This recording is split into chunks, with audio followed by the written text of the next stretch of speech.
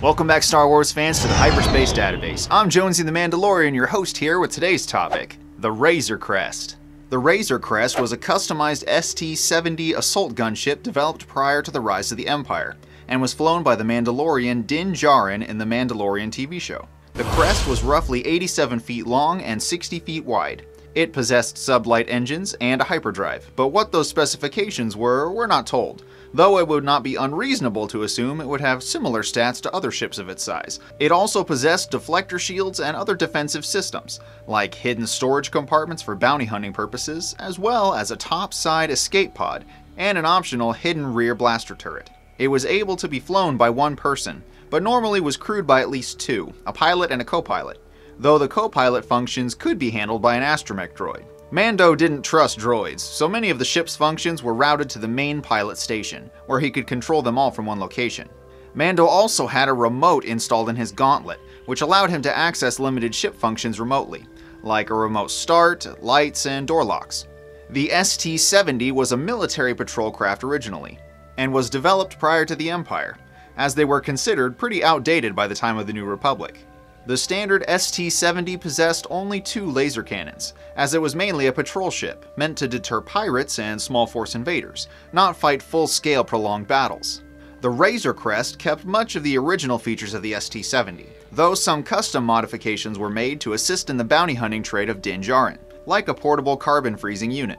The ship not only served as a transport vessel for his bounties, but also functioned as the mobile living quarters for the Mandalorian, as he frequently wandered from job to job, never really settling down. Where Din Djarin acquired the crest, and when, are a mystery at this point, though we do know that he primarily operated in the Outer Rim territories for collecting bounties, mainly to avoid Imperial entanglements on the more populated Mid-Rim worlds and Core worlds.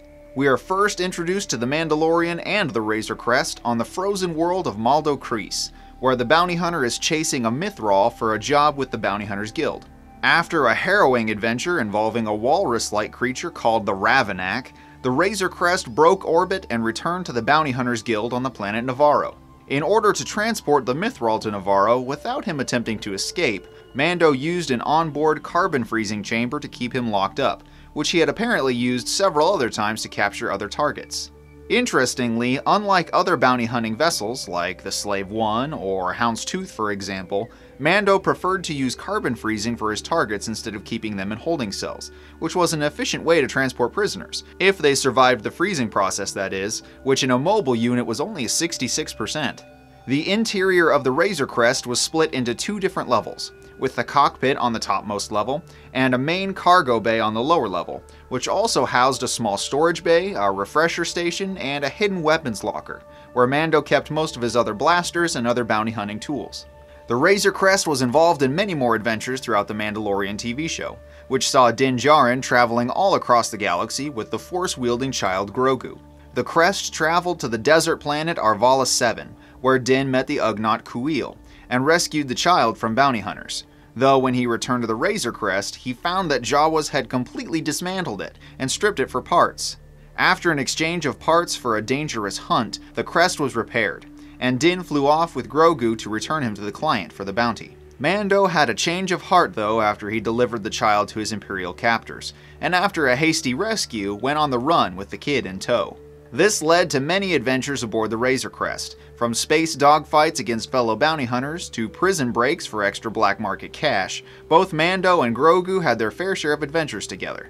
As often as the crest was flying, it was also often crashing, as the ship was damaged in dogfights with bounty hunters, falling through ice caverns escaping from X-Wing pilots, and splashing down in the ocean after a rapid re-entry into atmosphere. After this last mishap, Mando paid a local Mon Calamari to fix up the ship, though it set him back a thousand credits, and the repair job was mediocre at best.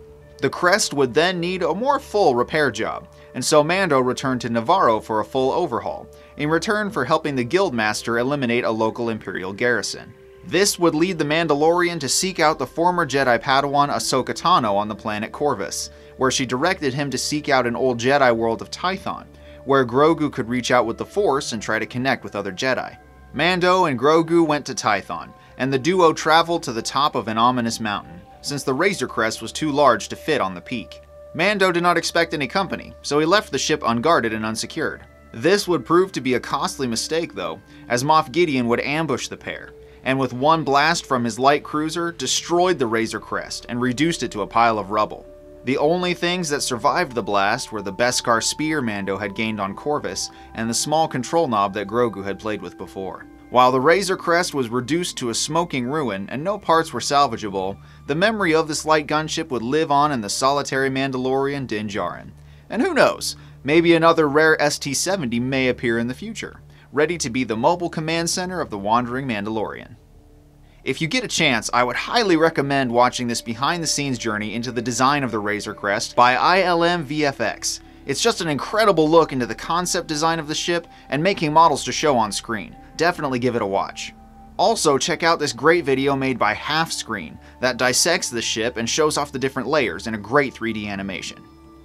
Want to know more about great Star Wars topics like this one? Stick around to the end for some secret trivia, hit those like and subscribe buttons, and the bell to never miss an episode. Be sure to chat with me in the comments because I really like talking to you guys.